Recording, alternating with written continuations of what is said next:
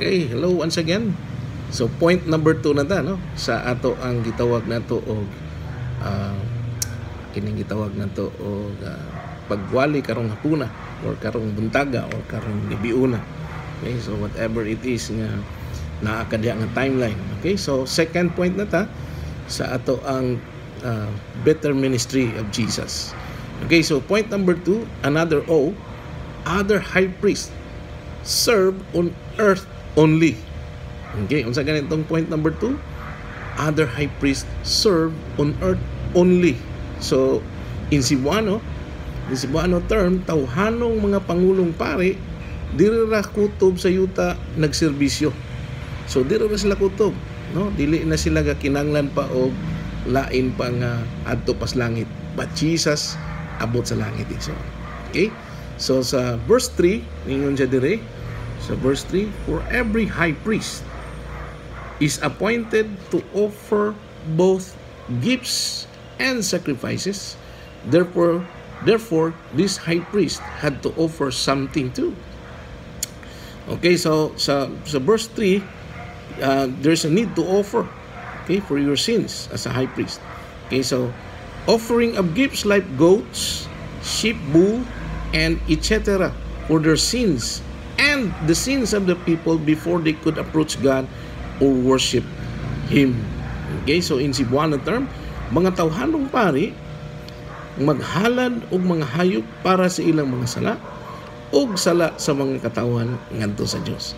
Okay, so ang nakalamian ning gi-differentiate diri nga si Ginoong Hesus lami kayang ministry kaning lain taong uh, kaparian, ang lain nga high priest nagpasabot diri nga luoy sila kayo kay ngano man they need to offer uh, kanang sacrifices for their sins. Okay? And then kato pong ilang katawhan nga represent ila pong offeran og uh, animal sa ilang mga sins. Una sila makasulod dito sa templo. Okay? So there are two offerings. Your your uh, your sin offering that's the offering for the high priest will go to the Holy of Holies to meet God, and another offering for the whole people of Israel. Nabi, no? But Jesus Christ did it once. He offered himself. Okay? And um, his blood was being sprinkled also at the cross of Calvary. So, labig si Ginong Isus. Lupig yun niya ning taon, tawhanon ramang taon ng mga pari na to sa unang panahon pa sa Levitical priesthood. Okay, so verse 4. Now, if he were on earth, he would not even be, be a priest because other men offer the gifts prescribed by the law. So, offering must be prescribed by the law. Tanang matang sa mga paghalad, in Cebuano term, pinahangi sa balaod. So, if you were offering a goat or a cow or anything that would offer your sins, that must be prescribed by the law. So the law is so strict, you need to have a perfect offering. Walay gikuto. There's no defect on your offering. Eh, grabe, no? And um, uh, nangayo si Lord yan. And um, so Jesus is the perfect offering because he had no sin anymore. Uh, he no new sin. He knew no sin, actually. So verse 5, they serve in a sanctuary that is a copy, a shadow of the heavenly one. This is why Moses was warned when he was about to build the tent. Si Lord Misulti niya, See to it that you make everything according to the pattern that was shown to you in the mountain. So, uh, offering and serving in the copy or copy of the shadow of the true sanctuary in heaven nagkopya lamang ang mga pare pinagig ang Moses dili naghalad og nagserbisyo sa balaang dapit sa langit. Dili sama kang Ginoong Hesus natuwa gayon sa trono sa langit na mao ang tinuod na balaang dapit. Okay so mo siya ay nakaparat sa mga high priest nga tawo lang no the Levitical priesthood kay nga naman kuto down sila sa kinupya so so it's a copy of the true sanctuary ra ang ilahang nasudlan. Okay? Okay, so for every high priest is appointed according to the law as God requires in the law, a copy and a shadow these words have similar meanings to emphasize that the tabernacle or the sanctuary or the temple or the katong gitawag tent of the meeting was merely an image of the real tabernacle in heaven. Okay, so shadow of the heavenly things, the author speaks of the earthly temple, which is a copy of the heavenly temple as if it were a shadow only.